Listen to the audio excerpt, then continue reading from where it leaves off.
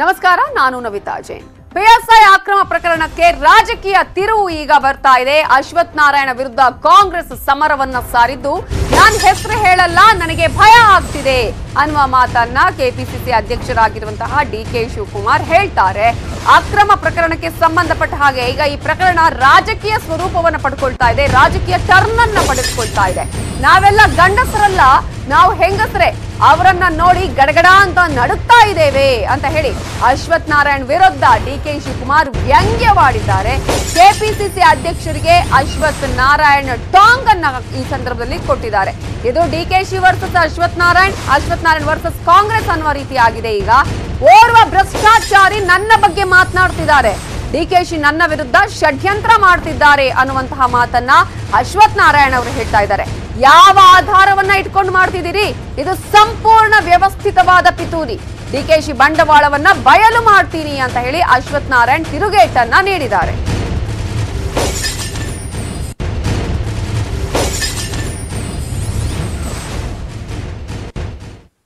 ಅಂತ ನಾನು ಹೇಳುದಿಲ್ಲ. ನನಗೆ ಬಂದ ಮಾಹಿತಿ ಅವರ ಯಾರ ಮಂತ್ರಿಗಳ ಸಂಬಂಧ ಅಂತ ಹೇಳ್ತಾ ಇದ್ದಾರೆ. ಒಂದೇ ತಾಲೂಕಿನಲ್ಲಿ ಮೂರು ಜನಕ್ಕೆ ಮೂರು ಜನ ಸೆಲೆಕ್ಟ್ ಆಗಿದ್ದಾರೆ.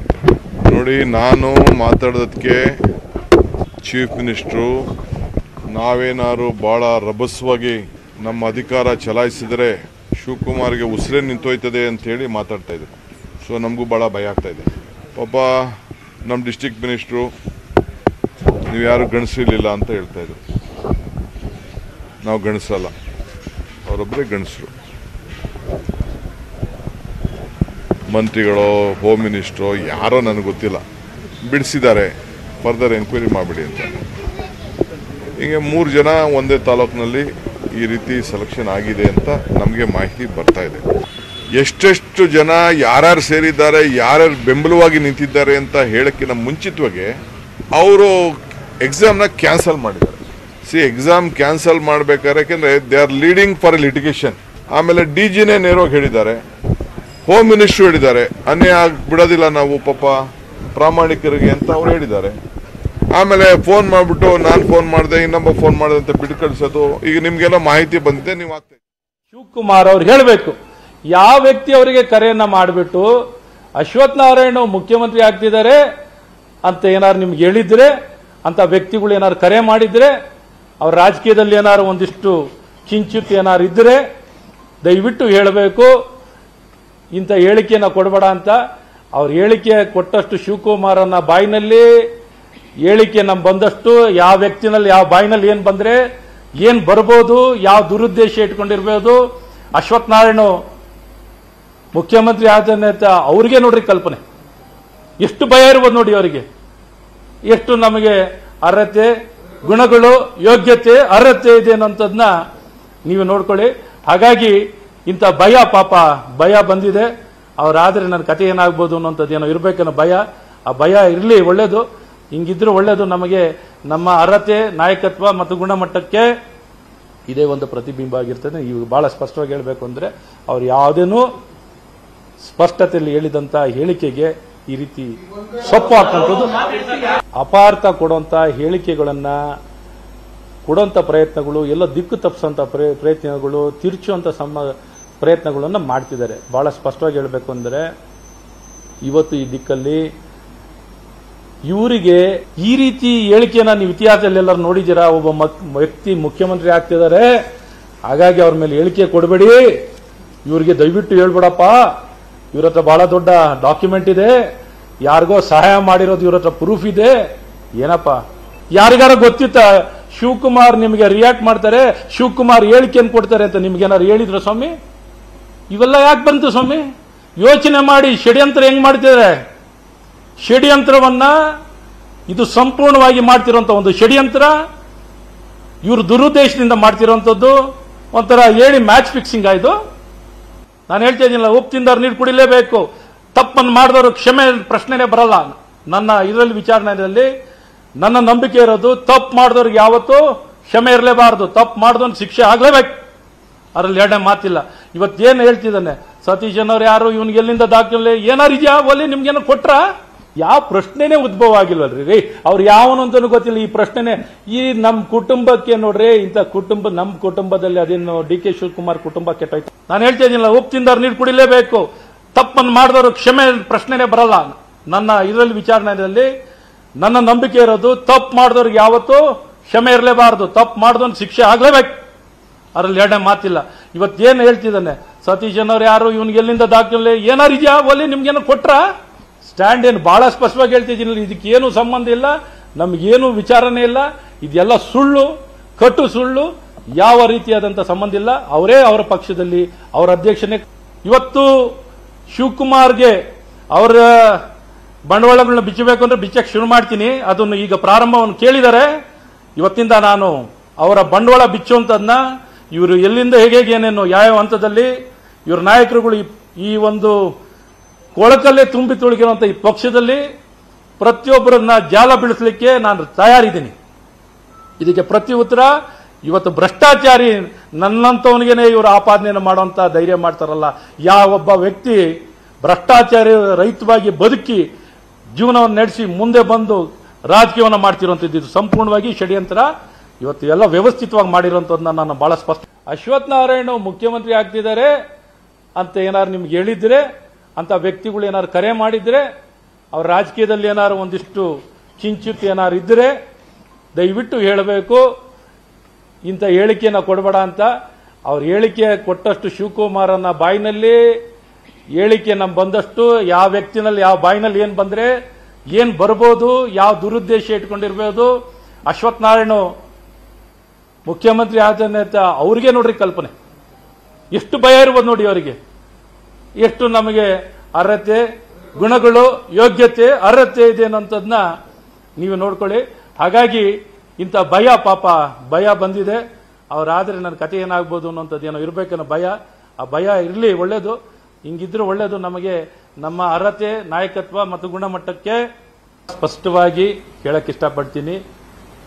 ನಾವು ಯಾವ ರೀತಿಯೂ ಯಾರಿಗೂ ಸಹಾಯ ಮಾಡಿಂತ ಇದುವರೆಗೂ ಒಬ್ಬರಿಗೂ ಸಹ ನಾವು ಹೇಳಿರುವಂತ ಪ್ರಶ್ನೆನೇ ಇಲ್ಲ. ಹೇಳೋಕೆನೆ ಹೋಗಿರೋ ಪ್ರಶ್ನೆನೇ ಇಲ್ವಲ್ಲ. ಮತ್ತು ಈ ಒಂದು ಆಪಾದನೆಯನ್ನ ಮಾಡ್ತಿರೋರು ಯಾವುದನ್ನು ಸ್ಪಷ್ಟವಾಗಿ ಮಾತಾಡುವಂತ ಪ್ರಯತ್ನನೇ ಮಾಡಿಲ್ಲ. ಇರ್ಬೋದು ಇಲ್ಲದೆ ಇರ್ಬೋದು, ಹೋಗಿರ್ಬೋದು, ಬಂದಿರ್ಬೋದು, ಅವ್ರ ತಮ್ಮ ಇರ್ಬೋದು, ಅಣ್ಣ ಇರ್ಬೋದು, ಸಂಬಂಧಿಕರು ಇರ್ಬೋದು, ಈ ರೀತಿ ಬಾಯಿಗೆ ಬಂದ ಹಾಗೆ ಹೇಳಿಕೆಯನ್ನು ಕೊಡ್ತಿದ್ದಾರೆ.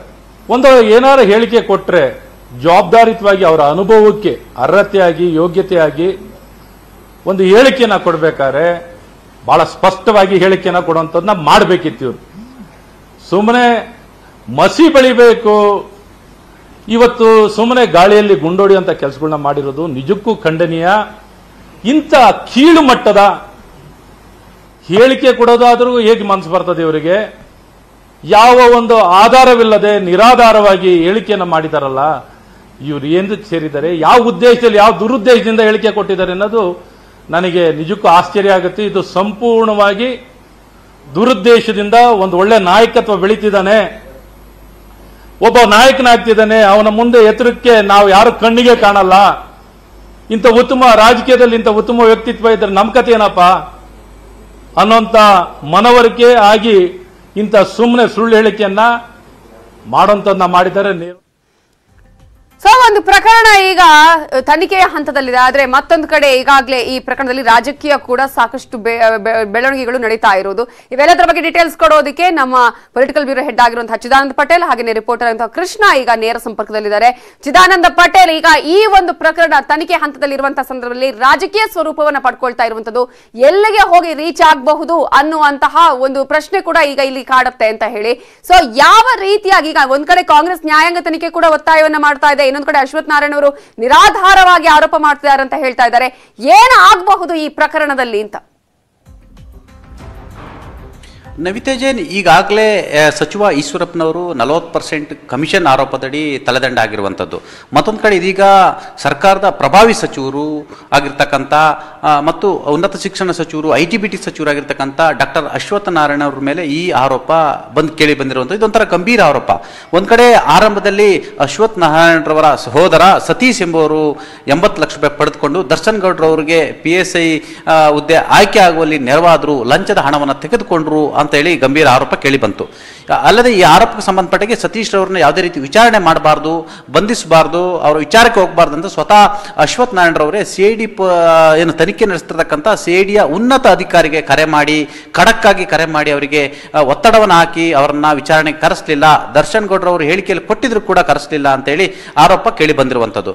ಒಂದು ಕಡೆ ಈ ಆರೋಪ, ಗಂಭೀರ ಆರೋಪ, ಕಾಂಗ್ರೆಸ್ ಕೂಡ ಇದನ್ನ ಪ್ರತಿಷ್ಠೆಯಾಗಿ ತೆಗೆದುಕೊಂಡಿರುವಂಥದ್ದು ಒಂದು ಕಡೆ ಆದರೆ, ಮತ್ತೊಂದು ಕಡೆ ನಾಳೆ ಕೇಂದ್ರ ಗೃಹ ಸಚಿವ ಅಮಿತ್ ಶಾ ಅವರು ರಾಜ್ಯಕ್ಕೆ ಬರ್ತಿರುವಂಥ ಸಂದರ್ಭದಲ್ಲೇ ಒಬ್ಬ ಪ್ರಭಾವಿ ಸಚಿವರ ಹೆಸರು ಇದೀಗ ಪಿ ಎಸ್ ಐ ಅಕ್ರಮದ ಹೆಸರಿನಲ್ಲಿ ತಳುಕು ಹಾಕೊಂಡಿರುವಂಥದ್ದು ಮತ್ತೊಂದು ಕಡೆ ಈ ಹಗರಣದಲ್ಲಿ ತಾವು ಅಮಾಯಕರು ನಮಗೆ ಅನ್ಯಾಯ ಆಗಿದೆ ಅಂತೇಳಿ ಸ್ವಾತಂತ್ರ್ಯ ಉದ್ಯಾನದಲ್ಲಿ ಪ್ರೊಟೆಸ್ಟ್ ಮಾಡ್ತಿದ್ದಂಥ ಅಮಾಯಕರ ಮೇಲೂ ಕೂಡ ಸಿ ಡಿ ಪೊಲೀಸರು ಎಫ್ ಐ ಆರ್ ಹಾಕುವ ಮುಖಾಂತರ ದಾರ್ಷ್ಟ್ಯವನ್ನ ಮೆರೆದಿದ್ದಾರೆ ಅಂತೇಳಿ ಗಂಭೀರ ಆರೋಪ ಕೇಳಿ ಬಂದಿರುವಂಥದ್ದು ಇದು ಈಗ ರಾಜಕೀಯ ಏನು ತಿರುವು ಪಡೆದುಕೊಂಡಿರುವಂಥದ್ದು ನವಿತಾ ಜೈನ್ ಯಾಕಂತ ಹೇಳಿದ್ರೆ ಈಗಾಗಲೇ ನಾರಾಯಣ ಮೇಲೆ ನೇರವಾಗಿ ಅವರ ಹೆಸರನ್ನ ಇದೀಗ ಏನು ಏನು ಬಿಜೆ ಕಾಂಗ್ರೆಸ್ನ ವಕ್ತಾರಾಗಿರ್ತಕ್ಕಂಥ ಉಗ್ರಪ್ಪನವರು ಹೇಳಿರುವಂಥದ್ದು ಡಿ ಕೆ ಶಿವಕುಮಾರ್ ಹೇಳಿರುವಂಥದ್ದು ಆ ಮುಖಾಂತರ ಈ ಪ್ರಕರಣದಲ್ಲಿ ಪ್ರಭಾವಿ ಸಚಿವ ಅಂತೇಳಿ ಹೇಳಿ ಏನು ಹೆಸರು ಕೇಳಿ ಬಂದಿತ್ತು? ಆ ಪ್ರಭಾವಿ ಸಚಿವ ಬೇರೆ ಯಾರು ಅಲ್ಲ ಅದು ಡಾಕ್ಟರ್ ಅಶ್ವಥ್ ನಾರಾಯಣ ಉನ್ನತ ಶಿಕ್ಷಣ ಸಚಿವರು ಅಂತೇಳಿ ಈಗಾಗಲೇ ಹೆಸರನ್ನ ಪ್ರಸ್ತಾಪ ಮಾಡಿದ್ರಿಂದ ಇದು ಈಗ ಗಂಭೀರತೆ ಮತ್ತು ತೀವ್ರತೆಯನ್ನು ಪಡೆದುಕೊಂಡಿರುವಂಥದ್ದು.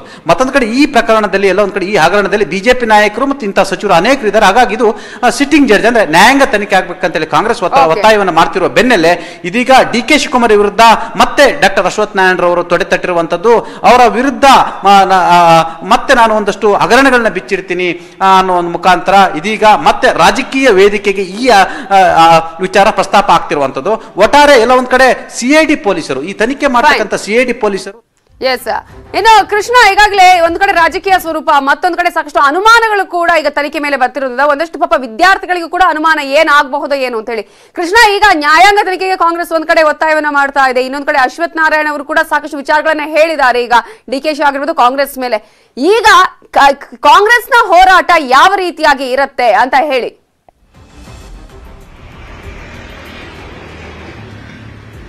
ಖಂಡಿತವಾಗ್ಲೂ ನವಿತಾ ಈಗಾಗಲೇ P S P S I ಅಕ್ರಮ ನೇಮಕಾತಿಗೆ ಸಂಬಂಧಪಟ್ಟ ತನಿಖೆ ಆಗ್ತಾ ಇದೆ ಸಿಐಡಿಯಿಂದ ಆದರೆ ಈಗ ಮುಖ್ಯವಾಗಿ ಏನಂತಂದ್ರೆ ಪೊಲೀಸ್ ಅಧಿಕಾರಿಗಳು ತನಿಖೆಯನ್ನ ಮಾಡ್ತಾ ಇದ್ದಾರೆ ಇಂತಹ ಸಂದರ್ಭದಲ್ಲಿ ಈಗ ರಾಜಕೀಯ ತಿರುವನ್ನು ಪಡ್ಕೊಳ್ತಾ ಇದೆ. ಎಲ್ಲೊಂದ್ ಕಡೆ ಇದು ಡಿ ಕೆ ಶಿವಕುಮಾರ್ ಹಾಗೂ ಅಶ್ವಥ್ ನಡುವೆ ಒಂದ್ ರೀತಿ ವಾಕ್ಷಮರಕ್ಕೆ ಕಾರಣವಾಗಿದೆ. ನೀವು ಹೇಳ್ದಂಗೆ ಈಗಾಗಲೇ ಕಾಂಗ್ರೆಸ್ ನಾಯಕರುಗಳು ಎಲ್ಲೊಂದ್ ಕಡೆ ಇದನ್ನ ನ್ಯಾಯಾಂಗ ತನಿಖೆಗೆ ಮಾಡಬೇಕು ಅನ್ನೋ ಒಂದು ಒತ್ತಡವನ್ನ ಆಗ್ತಾ ಇದ್ದಾರೆ ಆದರೆ ಈಗ ಮುಖ್ಯಮಂತ್ರಿಗಳು ಸಿಐಡಿ ತನಿಖೆಗೆ ಕೊಟ್ಟಿದ್ದಾರೆ ಮತ್ತೆ ಸ್ವತಃ ಗೃಹ ಸಚಿವರು ಇದನ್ನ ಉಸ್ತುವಾರಿ ಹೊತ್ತಿದ್ದಾರೆ. ಹೀಗಾಗಿ ಮುಂದಿನ ದಿನಗಳಲ್ಲಿ ಮುಖ್ಯಮಂತ್ರಿಗಳು ಇದ್ರ ಬಗ್ಗೆ ಕೂಲಂಕುಷವಾಗಿ ಚರ್ಚೆ ಮಾಡಿ ನ್ಯಾಯಾಂಗ ತನಿಖೆ ಕೊಡಬೇಕಾ ಅಥವಾ ಸಿಐಡಿ ತನಿಖೆಯಿಂದನೇ ಸಾಧ್ಯ ಅನ್ನೋದ್ರ ಬಗ್ಗೆ ಚರ್ಚೆಯನ್ನ ಮಾಡಿ ತೀರ್ಮಾನವನ್ನು ಮಾಡಿದ್ದಾರೆ. ಆದರೆ ಸದ್ಯಕ್ಕಂತೂ ದೊಡ್ಡ ಮಟ್ಟದಲ್ಲಿ ಈಗಾಗ ಈಗಾಗಲೇ ಒಂದು ರೀತಿ ರಾಜಕೀಯ ವೇದಿಕೆಯಾಗಿ ಪರಿಣಮಿಸಿರುವಂತದ್ದು ಸಚಿವ ಅಶ್ವಥ್ ನಾಯ್ಡು ಮತ್ತೆ ಡಿ ಕೆ ಶಿವಕುಮಾರ್ ನಡುವಿನ ಗುದ್ದಾಟದಿಂದಾಗಿ ಈಗಾಗಲೇ ಇಲ್ಲೊಂದು ಒಂದ್ ಕಡೆ ಡಿ ಕೆ ಶಿವಕುಮಾರ್ ಅವರು ಬೇಕು ಬೇಕು ಅಂತಾನೆ ಸಚಿವ ಅಶ್ವಥ್ ನಾರಾಯಣ ಅವರನ್ನ ಮಾತಾಡಿಸ್ತೀನಿ ಕೃಷ್ಣ. ನಮ್ ಜೊತೆ ಈಗ ಮಾತನಾಡೋದಿಕ್ಕೆ ಈಗ ಅವೇ ಎಸ್ ಉಗ್ರಪ್ಪ ಅವರೇ ಫೋನ್ ಸಂಪರ್ಕದಲ್ಲಿದ್ದಾರೆ. ನಮಸ್ತೆ ಸರ್. ಹಲೋ. ಸರ್ ವಾಯ್ಸ್ ಕೇಳಿಸ್ತಾ ಇದೆಯಾ? ಹಾ ಕೇಳಿಸ್ತಾ ಇದೆ ಅಮ್ಮ. ಸರ್ ಈಗ ಒಂದಷ್ಟು ವಿಚಾರಗಳನ್ನ ಹೇಳಿದ್ರಿ ಪ್ರೆಸ್ ಮೀಟ್ನಲ್ಲಿ ಒಂದಷ್ಟು ಆರೋಪಗಳನ್ನ ಕೂಡ ಮಾಡಿದ್ರಿ. ಆದ್ರೆ ಅಶ್ವಥ್ ನಾರಾಯಣ್ ಹೇಳ್ತಾ ಇರುವಂತದ್ದು ನಿರಾಧಾರ ಆರೋಪ ಇದು. ಯಾವ್ದೇ ರೀತಿ ಆಧಾರ ರಹಿತವಾಗಿ ಈ ಆರೋಪವನ್ನ ಮಾಡ್ತಾ ಇದ್ದಾರೆ ಅಂತ. ಈಗ ಹಲೋ. ಕೇ- ಕೇಳಿಸ್ತಾ ಇದೆ ಹೇಳಿ ಸರ್ ಮೊದಲನೇದು ಒಬ್ಬರು ಮಂತ್ರಿಗಳಾಗಿರುವಂತವ್ರು. ಹ್ಮ್. ಮೊದಲು ಅವ್ರಿಗೊಂದು ಸಭ್ಯತೆ ಸಂಸ್ಕಾರ ಅನ್ನುವಂಥದ್ದು ಇರಬೇಕು. ಹ್ಮ್. ಒಂದು ಪಕ್ಷದ ರಾಜ್ಯ ಉಪಾಧ್ಯಕ್ಷ ವಕ್ತಾರರು ಮಾತನಾಡ್ತಾರೆ. ಮಾಜಿ ಸಂಸತ್ ಸದಸ್ಯರು ಮಾಜಿ ವಿರೋಧ ಪಕ್ಷದ ನಾಯಕರು ಮಾ ಮೂರು ಸಾರಿ ಶಾಸಕರಾದಂತ ಉಗ್ರಪ್ಪನವ್ರು ಮಾತನಾಡ್ತಾರೆ ಅಂತ. ಉಗ್ರಪ್ಪನ ಏಕವಚನದಲ್ಲಿ ಮಾತನಾಡ್ತಾರೆ ಅಂತ ಹೇಳಿದ್ರೆ ಅವ್ರು ಕರೀತಾರೆ ಅಂತ ಹೇಳಿದ್ರೆ ಅವ್ರಿಗೆ ಏನು ಸಂಸ್ಕಾರ ಇದೆ ಅನ್ನೋದು ಗೊತ್ತಾಗುತ್ತಲ್ವಾ? ಎಷ್ಟು ಡೆಸ್ಪರೇಟ್ ಆಗಿದ್ದಾರೆ ಅನ್ನೋದು ಗೊತ್ತಾಗುತ್ತಲ್ವಾ? ಸೊ ಮೊದಲನೇದು ಅಶ್ವಥ್ ನಾರಾಯಣ ಈ ಅಧಿಕಾರ ಮತ್ತು ಹಣದ ಅಹಮ್ಮನ್ನ ನೆತ್ತಿಗೆ ಏರಿಸ್ಕೊಂಡಿರೋದನ್ನ ಇಂದ ಕೆಳಗೆ ಬರಬೇಕು. ಎರಡನೇದು ಏನು ಹೇಳಿದ್ದಾರೆ ಅವ್ರು ನನ್ನ ಮೇಲೆ ಒಂದು ಚಾರ್ಜ್ ಮಾಡಿದ್ದಾರೆ. ಏನು ನಾನು ನಮ್ಮ ಅಧ್ಯಕ್ಷರನ್ನ ಕಡು ಭ್ರಷ್ಟ ಅಂತ ಹೇಳಿ ಕರೆದಿದ್ದೇನೆ ಅಂತ.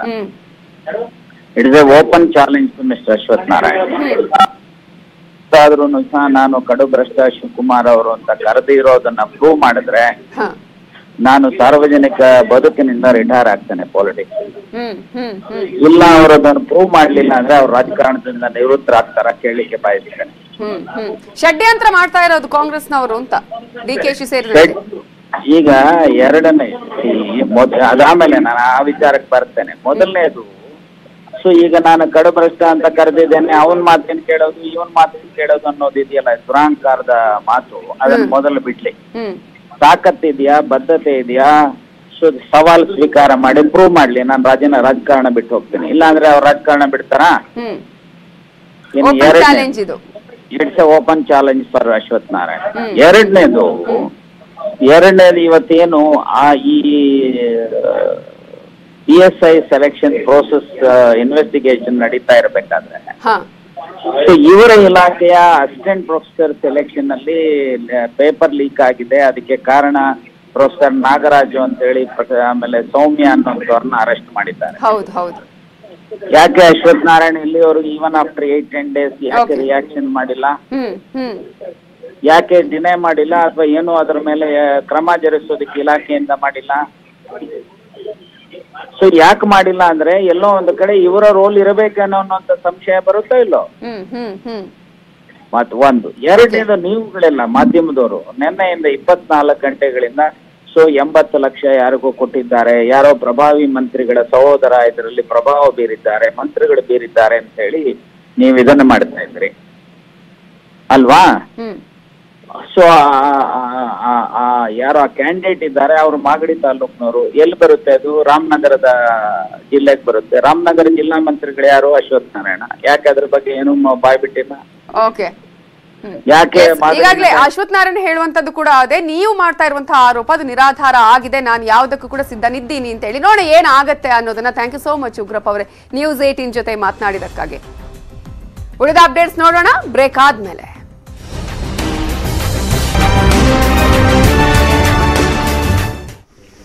ಈಗ ಮೆಡಿಕಲ್ ಇದು ಮೆಡಿಕಲ್ ಅಂತೀನಿ. ಎಜುಕೇಷನ್ ಡಿಪಾರ್ಟ್ಮೆಂಟಲ್ಲಿ ಕೇಸು ಕಂಪ್ಲೇಂಟು ಯಾವುದು? ಲೆಕ್ಚರರ್ಸು ಬೇರೆ ಪೊಲೀಸ್ ಸ್ಟೇಷನ್ಗೆಲ್ಲ ಕಂಪ್ಲೇಂಟ್ ಫೈಲ್ ಮಾಡಿದಾರಲ್ಲ ಇನ್ವೆಸ್ಟಿಗೇಷನ್ ಮಾಡಿ ಅಂತ. ಇವೆಲ್ಲ ನಾನು ಮಾಡಿದ್ನಾ? ನಮ್ಮ ಸರ್ಕಾರಗಳಲ್ಲಾಗಿತ್ತಾ ಇವೆಲ್ಲ? ಈ ರೀತಿ ಹಗರಣಗಳೆಲ್ಲ ಎಕ್ಸಾಮು ಬರೆಯೋದು, ಮತ್ತೊಂದು ಬರೆಯೋದು, ಇವೆಲ್ಲ ನಾವು ಮಾಡಿದ್ವಾ? ನಾವು ಕೇಳ್ತಾ ಇರೋದು ನೀವು ಎನ್ಕ್ವೈರಿ ಮಾಡಿರಿ ಎನ್ಕ್ವೈರಿ ಮಾಡಾದ್ಮೇಲೆ ಆಮೇಲೆ ನೀವೇನಾದರೂ ತೀರ್ಮಾನ ಮಾಡಿ ಅಂತ ಹೇಳ್ತಾ ಇದ್ದೀವಿ ಎನ್ಕ್ವೈರಿ ಮಾಡೋಕ್ಕಿಂತ ಮುಂಚಿತವಾಗಿ ಎನ್ಕ್ವೈರಿ ಈಗೇನು ಟಿ ವಿಲಿ ಏನು ತೋರಿಸ್ತಾ ಇದ್ರಿ ನೀವು? ಅದೊಂದು ಲಿಸ್ಟು ಕೊಟ್ಟಿದ್ದೀರಾ? ನಾಲ್ಕು ರ್ಯಾಂಕ್ ಕೊಡ್ದವನು ಇದ್ದಾರೆ ಅಂತ. ಹುಡುಗ, ದರ್ಶನ್? ಯಾವ್ದು ಗೌಡ. ಗೌಡ. ಅವ್ನು ನೋಟಿಸ್ ಇಶ್ಯೂ ಮಾಡಿದ್ದೀರಾ? ಅವನದು ಎಕ್ಸಾಮಿನೇಷನ್ ಏನಿದೆ ಅಂತ ಏನು ಪತ್ರ ಬರೆದಿದ್ದಾನೆ, ಏನು ಎತ್ತ ಅಂತ ಡಿಟೇಲಿನ ರಿಪೋರ್ಟ್ ಬರಲಿಲ್ಲ. ಇದಕ್ಕಿದ್ದಂಗೆ ಬಂದ್ಬಿಟ್ಟ ಅಂದ್ರೆ ಅವ್ನಿಗೆ ಏನಾದ್ರು ಸರ್ಟಿಫಿಕೇಟ್ ಆಯ್ತಾ? ವಿತ್ ಇನ್ ಫ್ಯೂ ಮಿನಿಟ್ಸ್ ಅವನು ವಾಪಸ್ ಬಂದ ಅಂತಂದರೆ. ಏನೇನು ಎನ್ಕ್ವೈರಿ ಒಂದು ಎನ್ಕ್ವೈರಿ ಹೆಂಗೆ ನಡಿಬೇಕು? ಯಾರು ಅದಕ್ಕೆ ಕಾರಣ? ಯಾರ ಹಿನ್ನೆಲೆ? ನಾವು ಹೆಸರುಗಳು ಯಾರ್ಯಾರು ಫೋನ್ ಮಾಡಿರ್ತಾರೆ ಬಿಡ್ತಾರೆ ಅಂತ ನಮ್ಗೆ ಬಂದ ಇನ್ಫಾರ್ಮೇಷನ್ ನೀವು ಮಾಧ್ಯಮದವರು ನಿಮ್ಗೆ ಏನೇನೋ ಇನ್ಫಾರ್ಮೇಷನ್ ಬರ್ತಾ ಇರ್ತದೆ. ನೀವು ಲೀಕ್ಔಟ್ ಮಾಡೋಕ್ಕಾಯ್ತದ ಟೈಮ್ ಬಂದಾಗ ಮಾಡ್ಬೇಕಾಗ್ತದೆ ಅದು ಬೇರೆ ವಿಚಾರ. ಸರ್ ಆಮೇಲೆ ನೀವು ಕನಕಪುರದವರು ರಾಮನಗರಕ್ಕೂ ನಿಮಗೂ ಸಂಬಂಧ ಇಲ್ಲ ನೀವು ಕನಕಪುರದಿಂದ ಬಂದವರು. ಮಾತ್ರ ನಮ್ಮ ಮೂಲ ರಾಮನಗರ. ಈಗ ಮ್ಯಾಚ್ ಫಿಕ್ಸಿಂಗ್ ಮಾಡಿದೀರಾ? ಅಮಿತ್ ಶಾ ಬರ್ತಾರೆ ಅಂತ ಹೇಳಿ ಶೆಡ್ಯೂಲ್ ಮಾಡಿ ಪ್ಲಾನ್ ಮಾಡಿ ಷಡ್ಯಂತ್ರ ಮಾಡಿ ಆರ್ಗನೈಸ್ಡ್ ಕ್ರೈಮ್ ಇದು ಅಂತ ಹೇಳ್ತಾ ಇದ್ದಾರೆ ನಿಮ್ಮ ಜನ ನೋಡಪ್ಪ. ನಾನು ಒಂದು ಹಳ್ಳಿ ಒಂದು ಕಡೆಯ ರಾಮನಗರದವನು ಅಲ್ಲ ನಾನು. ದೊಡ್ಡ ಹಳ್ಳಿ ಕೆಂಪೇಗೌಡನ ಮಗ ಶಿವಕುಮಾರ್. ಒಂದು ಹಳ್ಳಿಯು ನಾನು. ಹಳ್ಳಿಯಿಂದ ಇಲ್ಲಿ ಬಂದು ರಾಜಕಾರಣ ಮಾಡ್ತೀನಿ ಇದ್ದೀನಿ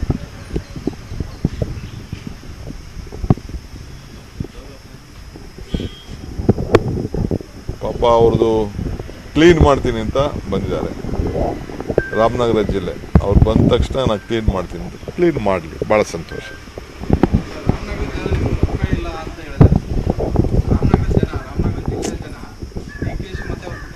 ನನ್ನ ನಾನು ಬೇಡ ರೀ ಉಪ್ಪುದೇ ಬೇಡ. ಪ್ರತಿದಿನ ಸರ್ ನಾನು- ನಾನು ಮುಖ್ಯಮಂತ್ರಿ ಆಗ್- ನಾನು ಮುಖ್ಯಮಂತ್ರಿ ಆಗ್ತೀನಿ ಅನ್ನೋ ಭಯ ಇದೆ. ಒಂದ್ ವೇಳೆ ಮುಖ್ಯಮಂತ್ರಿ ಆದ್ರೆ ಇನ್ನೆಷ್ಟು ಭಯ ಪಟ್ಬೇಡ ಅವರು ಅಂತ.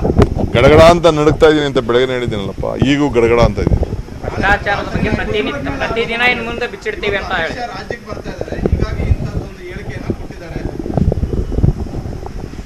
ಪ್ರತಿದಿನಾನೂ ಕೂಡ ಈಗ ಶಿವಕುಮಾರ್ ಅವರ ಬಗ್ಗೆ ಏನಂತ ಫಸ್ಟು ಅವ್ರ ಇಲಾಖೆಯಲ್ಲಿ ನಡೆದಂಥ ಏನೇನು ಕೆಲವೆಲ್ಲ ಇದೆಯಲ್ಲ ಈ ಪಾಪ ಯುವಕರಿಗೆ ಅನ್ಯಾಯ ಆಗ್ತಾ ಇದೆಯಲ್ಲ ಅದು ಸಬ್ ಇನ್ಸ್ಪೆಕ್ಟ್ರು ಸೆಲೆಕ್ಷನ್ನು ಈ P W D selection first ಅದರಿಂದ ಈಚೆ ಬರಲಿ.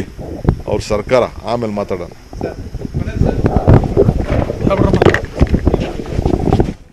ಇದು ಡಿ ಕೆ ಶಿವಕುಮಾರ್ ಅವರ ಪ್ರತಿಕ್ರಿಯೆ. ಅಶ್ವಥ್ ನಾರಾಯಣ ಅವರು ಮಾಡಿದಂತಹ ಡಿ ಕೆ ಶಿವಕುಮಾರ್ ಅವರ ಮೇಲೆ ಮಾಡಿದಂತಹ ಆರೋಪಕ್ಕೆ ಅವರಿಗೆ ಹೇಳಿದಂತಹ ವಿಚಾರಕ್ಕೆ ಸಂಬಂಧಪಟ್ಟ ಹಾಗೆ ಡಿ ಕೆ ಶಿವಕುಮಾರ್ ಕೊಟ್ಟಂತಹ ಪ್ರತಿಕ್ರಿಯೆ ಇದು. ಮೊದಲು ಈ ಎಲ್ಲ ಆರೋಪಗಳು ಇದೆಯಲ್ಲ, ಅದರಿಂದ ಅವರು ಹೊರ ಬರಲಿ ಅನ್ನುವಂತಹ ಮಾತನ್ನ ಹೇಳಿದ್ದಾರೆ. ಜೊತೆಗೆ ಈಗಾಗಲೇ ರಾಮನಗರದ ವಿಚಾರಕ್ಕೆ ಸಂಬಂಧಪಟ್ಟ ಹಾಗೆ ಕೂಡ ಮಾತನಾಡಿದ್ರು. ಜೊತೆಗೆ ಮುಖ್ಯಮಂತ್ರಿ ವಿಚಾರಕ್ಕೆ ಸಂಬಂಧಪಟ್ಟ ಹಾಗೆ ಕೂಡ ಡಿ ಕೆ ಶಿವಕುಮಾರ್ ಪ್ರತಿಕ್ರಿಯೆ ಕೊಟ್ಟರು. ಗಡಗಡ ಅಂತ ನಾವು ನಡುತ್ತಾ ಇದ್ದೀವಿ ಅನ್ನುವಂತಹ ಮಾತನ್ನ ಡಿ ಕೆ ಶಿವಕುಮಾರ್ ಹೇಳಿದ್ದಾರೆ. ಈ ಮೂಲಕ ಅಶ್ವಥ್ ನಾರಾಯಣ್ಗೆ ಡಿ ಕೆ ಶಿ ಮತ್ತೆ ತಿರುಗೇಟನ್ನ ನೀಡಿದ್ದು. ತಾವು ಮಾಡಿದ ಆರೋಪವನ್ನ ಅಲ್ಲಗಳೆದಿದ್ರು ಅಶ್ವಥ್ ನಾರಾಯಣ್. ನಿಮ್ಮ ಬಣ್ಣ ಬಯಲು ಮಾಡ್ತೀನಿ ಅನ್ನುವಂತಹ ಮಾತನ್ನ ಕೂಡ ಅಶ್ವಥ್ ನಾರಾಯಣ ಅವರು ಹೇಳಿದ್ರು. ಪ್ರತಿದಿನ ನಾನು ಇದಕ್ಕೆ ಇನ್ನು ಇವರ ಬಂಡವಾಳವನ್ನ ಬಿಚ್ಚಿಡ್ತೀನಿ ಅನ್ನುವಂತಹ ಮಾತನ್ನ ಹೇಳಿದ್ರು. ಅಶ್ವಥ್ ನಾರಾಯಣ್ನ ಮಾತಿಗೆ ಡಿ ಕೆ ಶಿ ತಿರುಗೇಟ್ ಕೊಟ್ಟಿದ್ದಾರೆ. ನಮಗೆ ಬಂದ ಮಾಹಿತಿಯನ್ನ ನಾವು ಕೊಟ್ಟಿದ್ದೇವೆ, ಆದ್ರೆ ಮಾಹಿತಿ ಕೊಟ್ಟಿದ್ದು ಯಾರು ಅಂತ ಹೇಳಲ್ಲ ಅಂತ ಹೇಳಿದ್ದಾರೆ. ನೋಡೋಣ? ಈಗ ನಾನ ಬಿಚ್ಚಿದ್ದು, ಮಾಧ್ಯಮದವ್ರು ಬಿಚ್ಚಿದ್ರು. ನನಗೆ ಗೊತ್ತೇ ಇಲ್ಲ. ಆ ಹುಡುಗರು ಪಾಪ ರಾಮನಗರದವರು ಮೂರು ಜನ ಎಕ್ಸಾಮ್ ಪಾಸ್ ಮಾಡೋರು ಅಂತ. ನೀವು ಯಾವುದೋ ಕುದೂರು ಒಬ್ಳಿಯವರು ಮಾಗಡಿಯವರು ಅಂತ ನನಗೂ ಖುಷಿ. ಏನೋ ನಮ್ಮ ಮಾಗಡಿ ಹುಡುಗರುಗಳು ಸಬ್ ಇನ್ಸ್ಪೆಕ್ಟರ್ ಆಗವ್ರೆ ಅಂತ. ಆಮೇಲೆ ನನಗೆ ಗೊತ್ತಾಯಿತು ನಮ್ಮ ಕಾರ್ಯಕರ್ತ ಆಗಿದ್ದವನೇ ಅಂತೆ. ನಮ್ಮ ಪಾರ್ಟಿಲಿದ್ದಂಥ ಹುಡುಗ, ಮನೆ ಮಕ್ಕಳು, ಹುಡುಗರುಗಳು ಅಂತ. ನಮಗೂ ಖುಷಿ. ಬಟ್ ಅನ್ಯಾಯ ಆಗಿದೆ. ಪಾಪ ಒಬ್ಬರು ಹಾಸ್ಪಿಟ್ಲಲ್ಲಿ ಇದ್ದಾರಂತೆ ಇನ್ನೊಂದೊಂದು ಏನೇನೋ ಅಂತ ಯಾರಾದರೂ ನನಗೆ ಆಲೇ ವಿಚಾರಗಳು ತಿಳಿಸ್ತಾ ಇದ್ದಾರೆ. ಸೊ ಹಂಗಿರ್ಬೇಕಾರೆ ನೀವು ಯಾಕೆ ಅಷ್ಟು ನಿಮ್ಮ ಮೇಲೆ ನಿಮ್ಮನ್ನೇ ನಿಮಗೆ ಸಸ್ಪಿಷನ್ ಲೀಡ್ ನೀಡಲು ನಿಮ್ಮ ಕಡೆನೇ ತಿರ್ತಾ ಇದೆ ಅಂತ ಯಾಕೆ ಗಾಬರಿ ಮಾಡ್ಕೋತಾ ಇದ್ದೀರಿ? ಇವಿಷ್ಟೇ ಹೊತ್ತಿನ ಪ್ರಮುಖ ಸುದ್ದಿ. ನೋಡ್ತಾ ಇರಿ ನ್ಯೂಸ್ ಏಟಿನ್ ಕನ್ನಡ, ಜಾಲ ನಮ್ಮದು, ಬಲ ನಿಮ್ಮದು.